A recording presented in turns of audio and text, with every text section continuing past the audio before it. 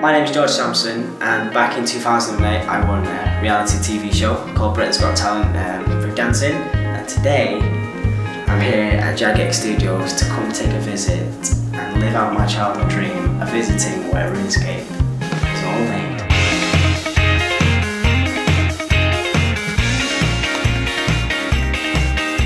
11 years old when I discovered RuneScape and it was basically through my friends, their older brothers, my older brother, um, so it was just kind of, you know, passing me down through the family.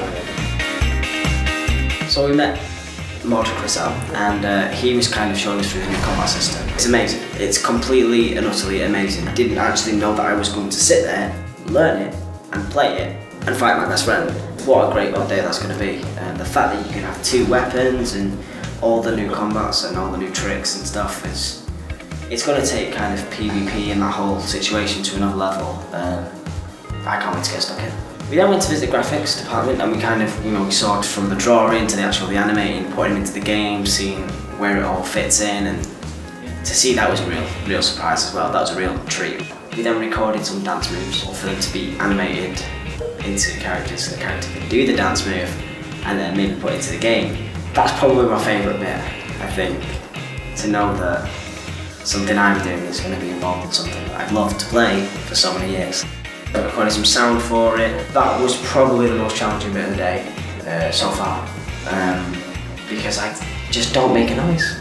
And when they said you have to make a noise and just uh, grunts and stuff, that's not me, I don't grunt. Really challenging, really challenging. That's, that's pretty. In just playing the game, you would never expect kind of to ever know what's going on behind and how people are watching you. I mean, I don't mean like watching you, but watching out for you. If there's any trouble and stuff, it's always clogged, and you, I never knew how much goes into that, and you know how much care there is for the players coming from the people here. Like that was really surprising, really good. It's so much better than I expected. So much better. I never thought I'd see a tank for a start. I mean, all the different departments and you know the bits that really surprised me, the bits that you wouldn't expect to be surprised by kind of the customer support side of things themselves have really, yeah, everyone works hard and you, you can see that just from being here.